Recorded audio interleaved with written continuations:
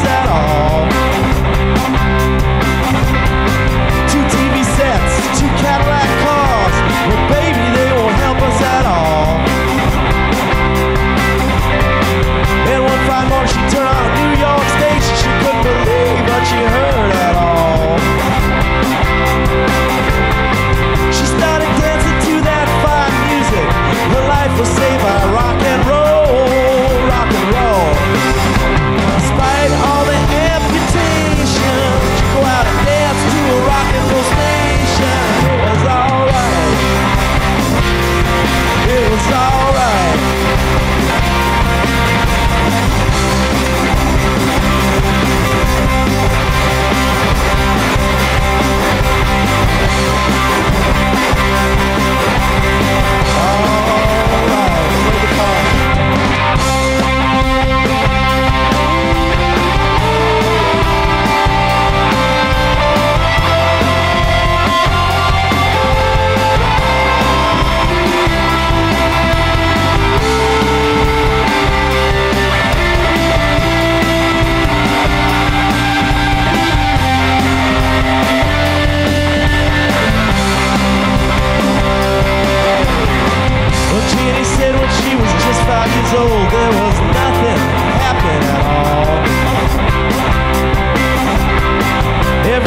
she turned on the radio, there was nothing going down at all.